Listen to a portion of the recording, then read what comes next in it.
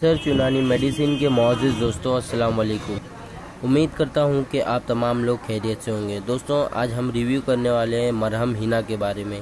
दोस्तों, इसके कंपनी का नाम बता दूँ आपको, दवाखाना तिबिया कॉलेज यानी अलीगढ़ यूनिवर्सिटी, इसको मैन्युफैक्चरिंग करती है। दोस्तों, ये बहुत ही ख़ास क्रीम है, बहुत ही जानी मानी क्रीम है। दोस्तों, इसके कंपोनेंट की कुछ इसके पहले प्राइस की बात करें तो ये फिफ्टी सेवन रुपये का है।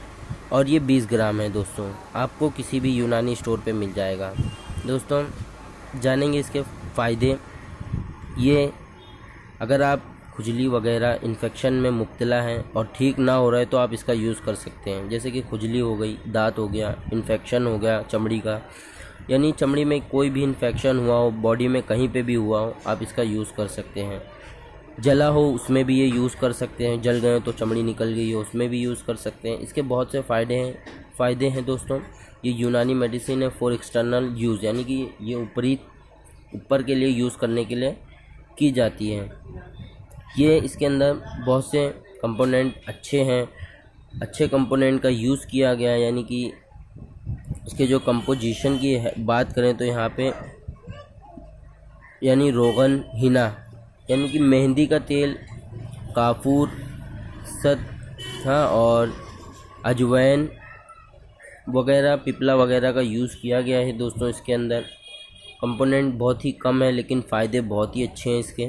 मार्केट में बहुत ही ज़्यादा ज़ोरों से इसके यानी कि चर्चे हैं। मैंने भी इसे मंगा के आप लोगों को ये बताया है कि आप इसका इस्तेमाल कर सकते हैं। जो लोग खुजली वगैरह में मुबतला हैं, उनके लिए बहुत ही बेहतरीन है। जैसे कि इजगाट लगा के परेशान हैं दर्द नाश दाद नाशक वगैरह, जैसे बहुत से क्रीम है, उससे फ़ायदा नहीं है तो आप इसका यूज़ करें। आपको इंशाल्लाह इसका रिज़ल्ट मिलेगा।